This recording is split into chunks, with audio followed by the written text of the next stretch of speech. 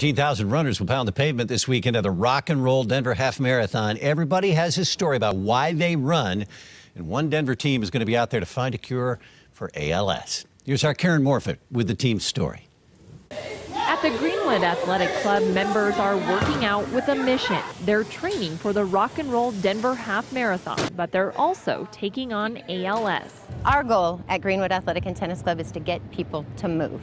This disease takes away somebody's ability to move. So it goes against every single thing that we stand for. About 33 employees and club members have joined Augie's Quest, a national movement to find a cure for the neurodegenerative disease.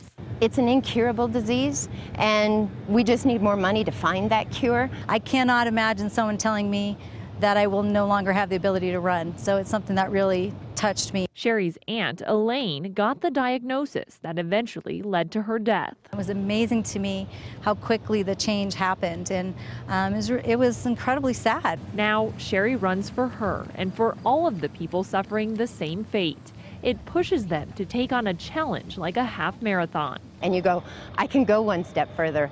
I can actually do that. So why not keep going? Why not push harder? Why not challenge myself to just remotely come close to the things that they are challenged with every single day?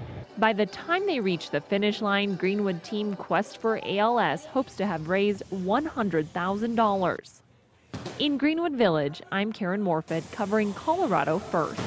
Way to go, guys. Rock and Roll Denver Half Marathon comes up this weekend, and you can still register for the race at the expo uh, today, Saturday. We have all your race weekend information at cbsdenver.com.